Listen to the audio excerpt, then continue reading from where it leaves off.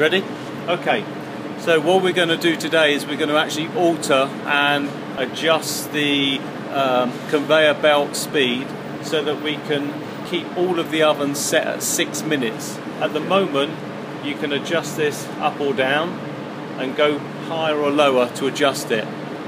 Within the controller, the fastest this can go is 1 minute 30 and the slowest it can go is 17 minutes. So we're going to go into the control and outlock that to sit, sit it at 6 minutes to keep it actually set.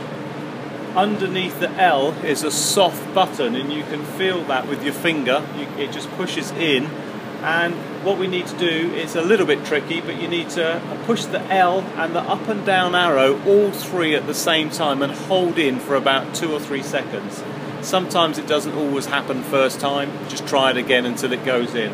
So you can feel the L there on the soft button up and down and you push and hold for just for a few seconds. So here we go. Just going to push and hold and I'm in. So the 55 is the first thing that would come up on the screen and that means 55 inch oven because we have a 55 inch baking oven.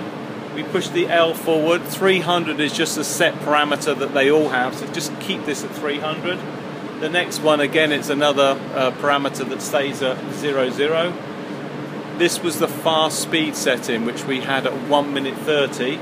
We're going to push and move that to 6 minutes. So just keep your finger on here for six minutes, it will just quickly go up. And then remove. Push the L button again, and that was the slow point. So the slowest the belt could go was 17 minutes. We're now going to push and lower that to six minutes. Keep your finger on the down,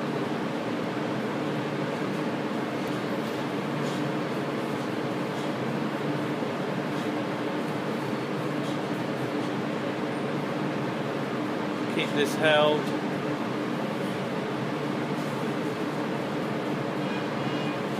And six minutes is as low as it can go because we've got the lowest setting at six.